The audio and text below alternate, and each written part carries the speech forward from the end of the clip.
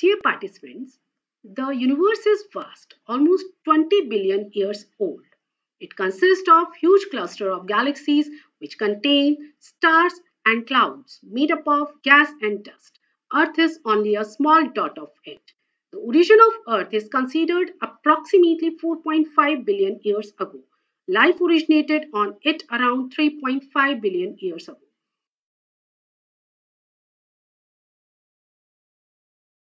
Of life is a unique event in the history of the universe and we still don't know how many and which other planet have life on them. It was supposed that the atmosphere was not available for early life. Water vapors, methane, carbon dioxide and ammonia were there.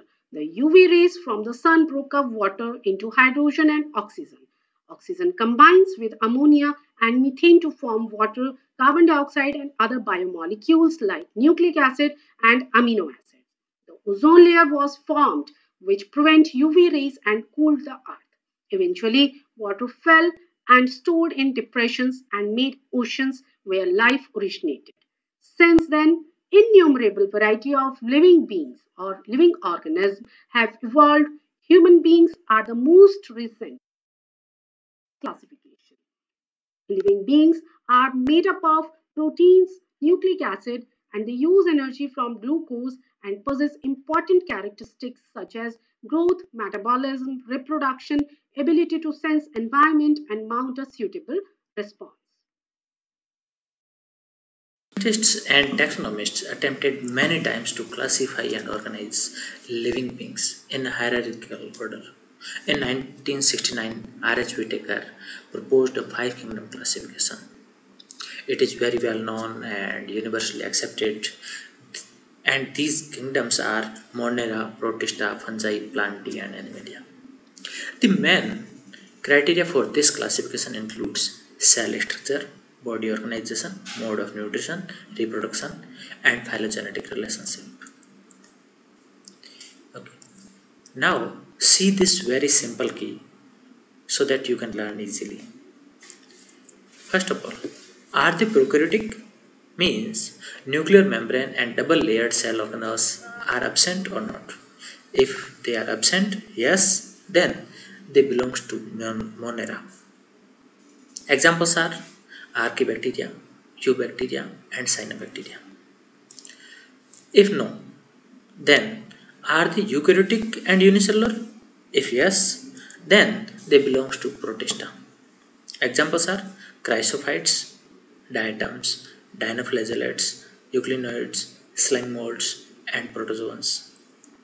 Now check if they uh, if that was no then check here are they eukaryotic multicellular and having a cell wall of chitin and possessing the heterotrophic saprophytic and parasitic type of nutrition if yes, then they are fungi, such as Phycomycetes, Ascomycetes, Basidiomycetes, and Deuteromycetes. If no, then do they possess cellulosic cell wall and having the chloroplast? If yes, it means they are plants. They are divided into bryophytes, pteridophytes, gymnosperm, and angiosperms. If again no, then they do not contain any cell wall they do not contain any chloroplast. It means they are heterotrophic in nature and it means they are animals and they are non-chordates and chordates and many other types uh, many other subtypes which we will discuss. So in this video we will see kingdom animalia.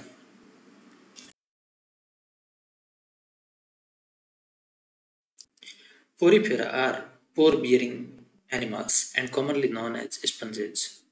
Their origin is expected in late Precambrian. All sponges are aquatic, mostly marine. Body is cylindrical eh, or vase-shaped and porous. These small pores help water in or water enter in the body are also called ostia and one excellent core is known as osculum. Here you can see in this diagram. They are diploblastic and means two layers are there, ectoderm and endoderm. Cellular level organization where many cells are present like pinacoderm who make their outer covering, choanoderm or collar cells who make their inner covering and also help in the feeding mechanism. Archae, uh, archaeocytes are totipotent cells who may be converted into any other type of cells as per requirement and many more cells are there who perform different functions. A special feature of these porifera is canal system. Here you can see in this above rotating diagram,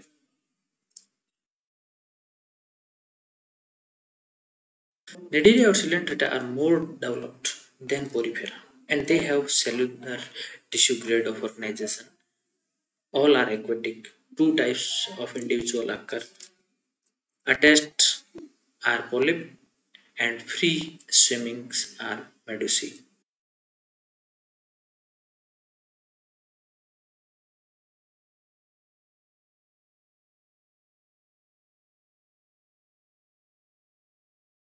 Body wall is diploblastic with two cellular layers, outer epidermis and inner gastrodermis or coelenteron.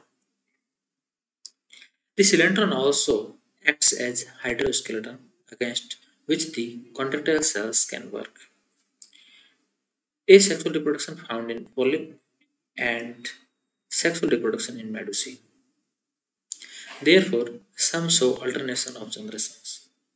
Important represent, representative are coral reefs,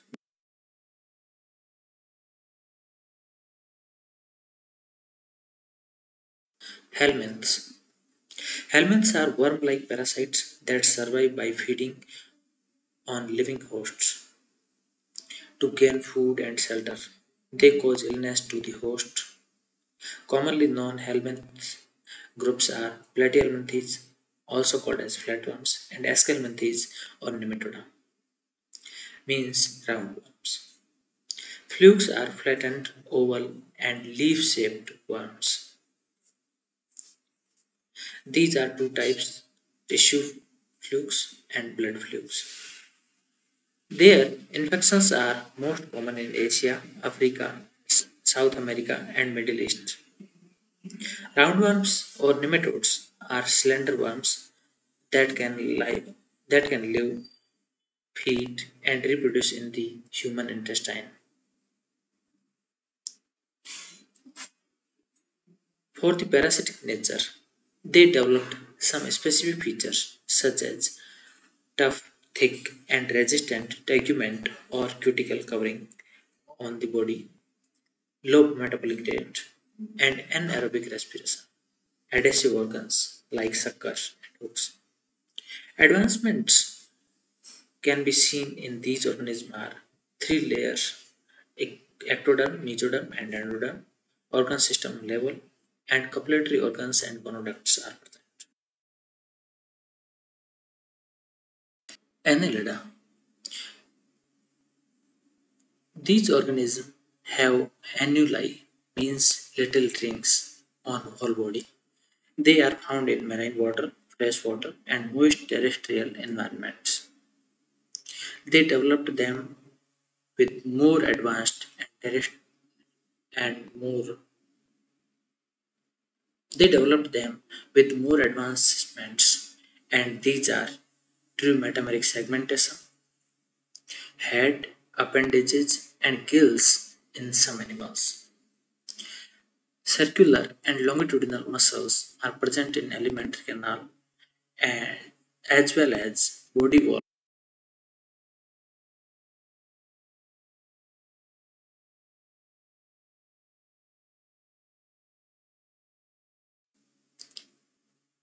Circulatory system contains red blood.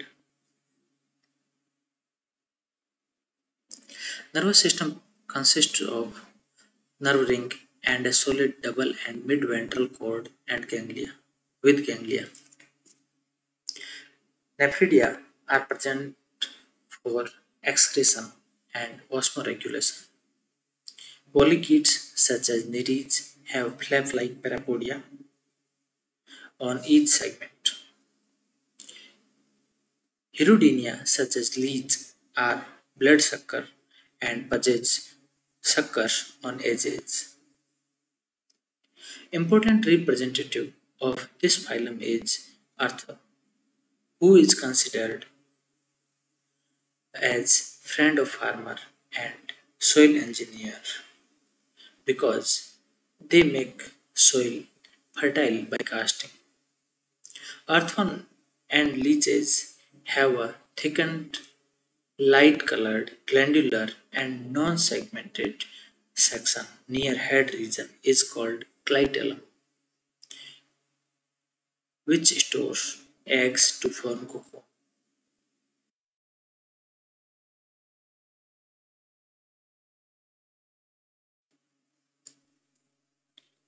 Now Arthropoda. This phylum have highest number of animals. The arthropods are most successful, adapted, and present omnivore. Present omnivore. Land, soil, water, fruits, air, even in top of mountains and great depth of oceans. These animals have unique feature that their appendages are jointed. Body is divided in head, thorax and abdomen or cephalothorax and trunk. Body is covered by hard chitinous cuticle which is shared which is shed periodically for growth. This process is called as ecdysis.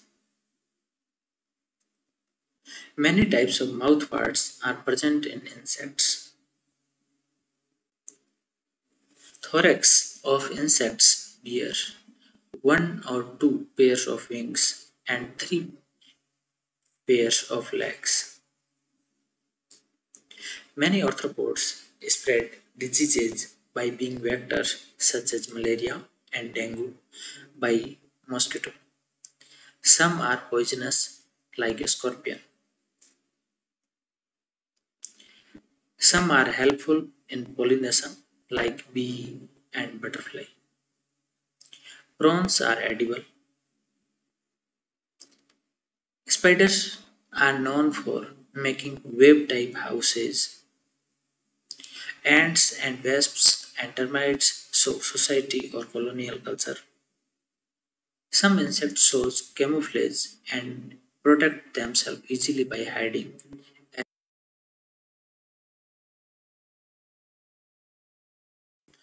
which is due to torsion, torsion or twisting during the growth.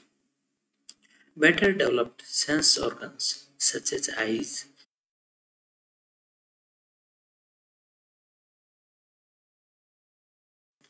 which is due to torsion, torsion or twisting during the growth.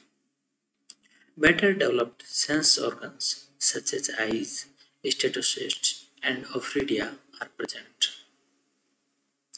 Mantle is present, which is thin, fleshy, and covering dorsal body wall. Bivalve forms pearl, an important ornament. Octopus ejects an inky fluid in water to escape from enemies.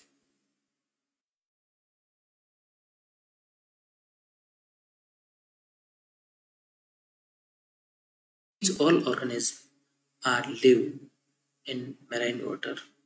Echinoderms have spines or pincer-like pedicellary.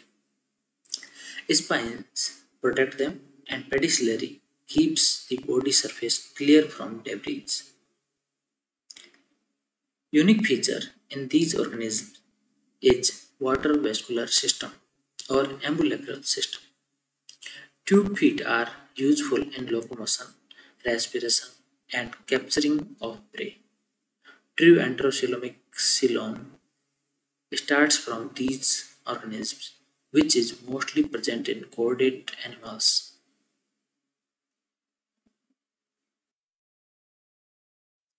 Hemichordata. This phylum was previously considered under the chordata, but later on it is changed or shifted into the non-chordata. Amico Hemichordata exclusively data are exclusively marine and body divisible into proboscis, collar, and trunk. Notochord, like structure found in roof of buccal cavity and called stomochord. This was the confusion for the its uh, its position in chordata and non-chordata, but now it is considered under the non-chordata. Example is balanoglossus.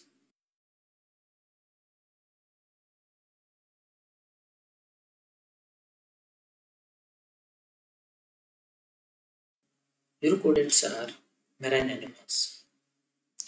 Body is covered by the chest or tunic.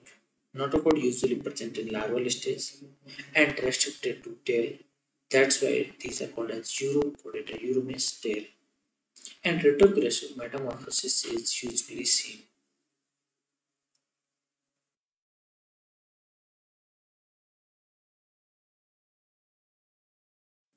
Urochordates are marine animals. Body is covered by the chest or tunic. Notochord usually present in larval stage and restricted to tail. That's why these are called as urochordata. Uro tail and retrogressive metamorphosis is usually seen. Cephalochordata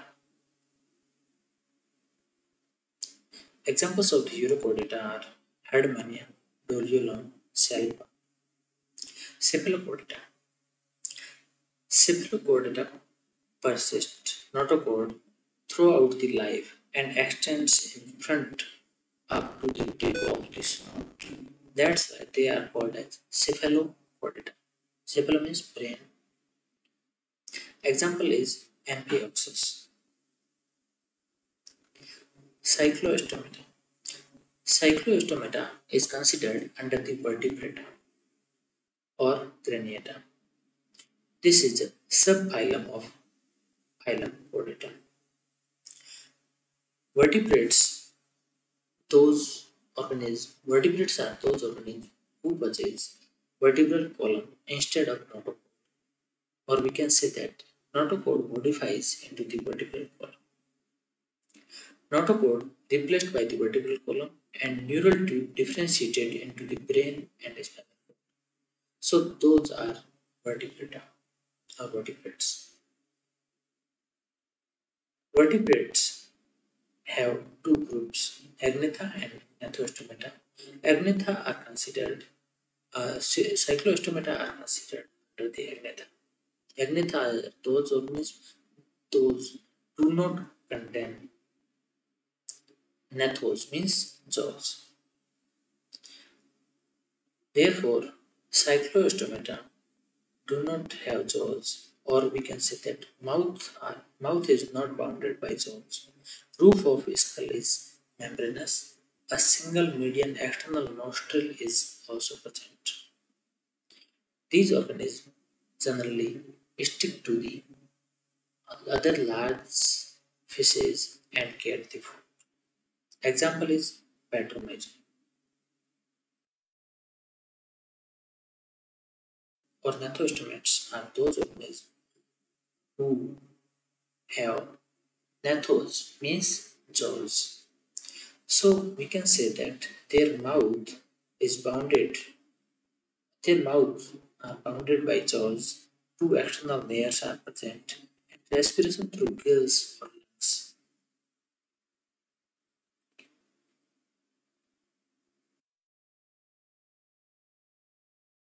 Tetrapoda. Tetrapoda have two pairs of appendages. They have pentadactyl limbs means five fingers are present in the limbs, but it is not compulsory for all. Heart have three to four chambers. Lungs are the main respiratory organ for the respiration.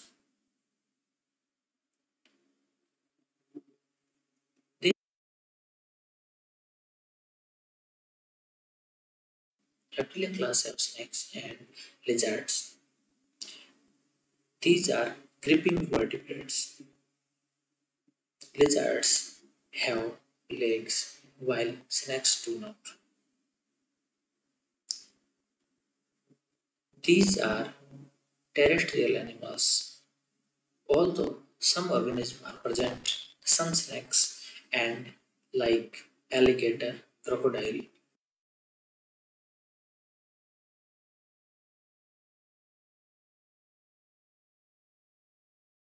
Next class of the tetrapoda is aves. Aves have four-limb modification into wings and they help them to fly. That's why aves contain all those organisms who can fly and have wings.